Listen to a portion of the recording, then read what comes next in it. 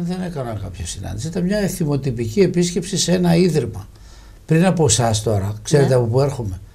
Από τον Άγιο Παντελεήμονα. Ε, φαντάζομαι τρίτη μέρα είστε εδώ, Εγώ, θα πηγαίνετε μέσα στις επισκέψεις μου δεν αγνοώ τις μονάδες κλειστής περίθαλψης που είναι άνθρωποι που βρίσκονται εκεί για πολλούς και διαφόρους λόγους σε ένα κέντρο. Ξέρετε, έχω ζήσει στη ζωή μου έξι χρόνια, στα εφηβικά μου χρόνια, σε τρία διαφορετικά ιδρύματα.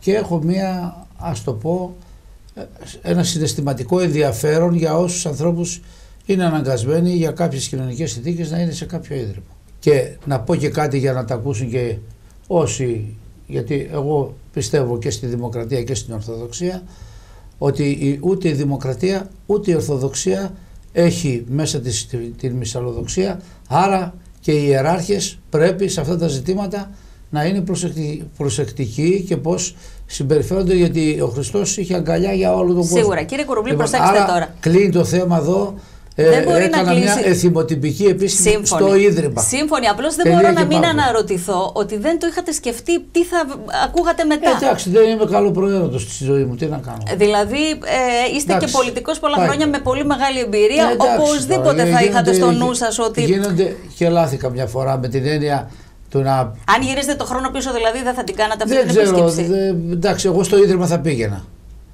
Το Ίδρυμα είναι κάτι το οποίο έχει να κάνει με ανθρώπους που ζουν εκεί. Εγώ δεν, δεν είχα συνάντηση ειδική.